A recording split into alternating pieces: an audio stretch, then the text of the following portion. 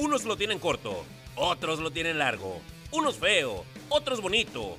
Unos siempre lo utilizan, otros no tanto. Exacto, hablamos de los apodos en el fútbol mexicano, que gusten o no, son parte importante del deporte más popular del mundo. Chupete, Dedé, Cabrito, Patrulla, Jefe, Capi, Emperador, Ugol, Cabo. Difícil recordar a todos estos jugadores sin el apodo que los distinguía. Los grandes cronistas de fútbol a lo largo de la historia se han encargado de poner cientos de estos apodos entre las estrellas del balompié. Enrique Bermúdez, Roberto Hernández Jr. y Gerardo Peña han buscado en las características de cada jugador para ponerle un sobrenombre. Aunque claro, está el más grande de todos, Don Ángel Fernández, quien encontraba en las virtudes del futbolista el apodo exacto, siempre enalteciendo al protagonista.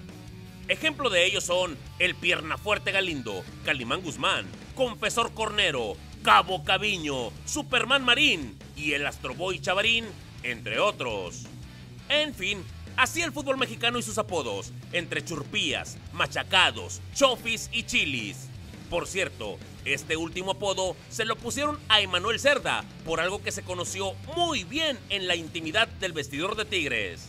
Y también está el Diablo Núñez, también conocido como el Chico de Chile, Chupas López. Y hasta muertos hemos tenido los personajes de Cadáver Vázquez y Cadáver Valdés. Como anécdota, Valdés jugó en Chivas en los 90 y coincidió con un jugador de apellidos Cruz Verde. Era curioso escuchar el sonido local del Jalisco decir, entra Cruz Verde por el cadáver. Apodos y más apodos en el fútbol mexicano. ¿Usted cuál recuerda? Alejandro Aguirre, Azteca Deportes.